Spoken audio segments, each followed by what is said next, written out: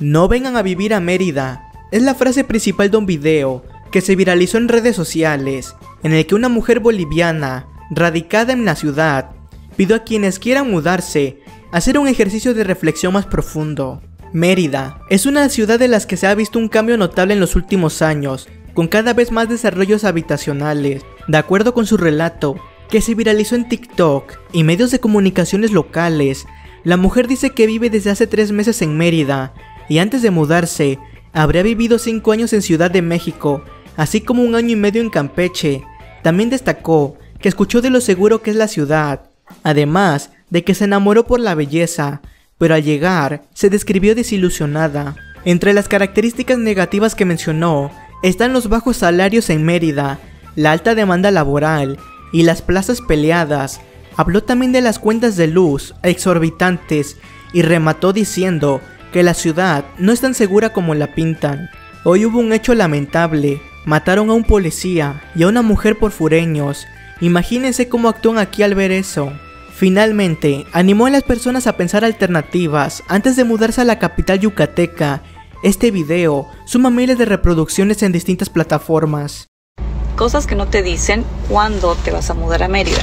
Hace tres meses que me vine a vivir a Mérida. Viví en México ya ocho años, en Ciudad de México cinco, en Campeche un año y medio y ahora en Mérida.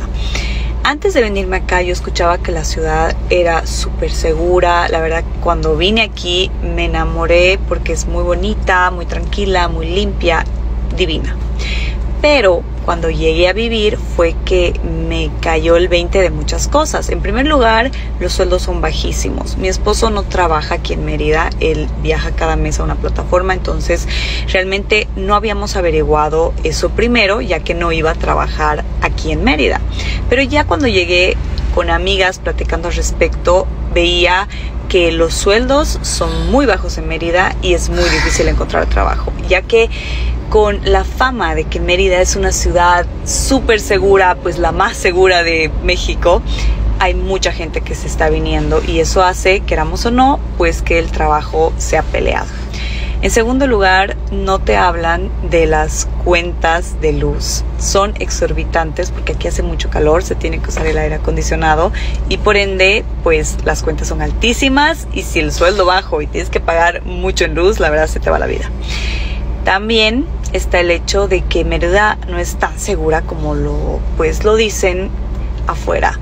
Hoy hubo un hecho lamentable, mataron a una mujer eh, aquí en la ciudad y luego a un guardia, a un policía y pues estos eran fuereños, así que imagínense si la gente local apenas acepta a personas que van viniendo de México aquí y a extranjeros menos, entonces cómo ahora están actuando al ver que fuereños son los que hicieron eso.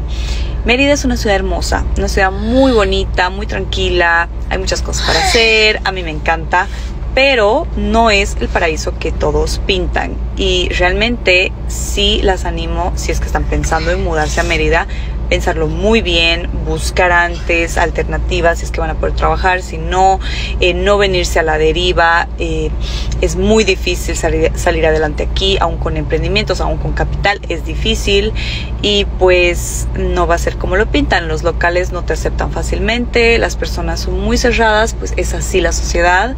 Yo vengo de una sociedad en Bolivia chiquita y muy cerrada, entonces lo entiendo, pero sí quería compartirles este video porque tengo amigas que me han escrito diciendo que se quieren venir a Mérida y que están súper emocionadas y no es como lo pintan, no lo es, así que piénsenlo muy bien.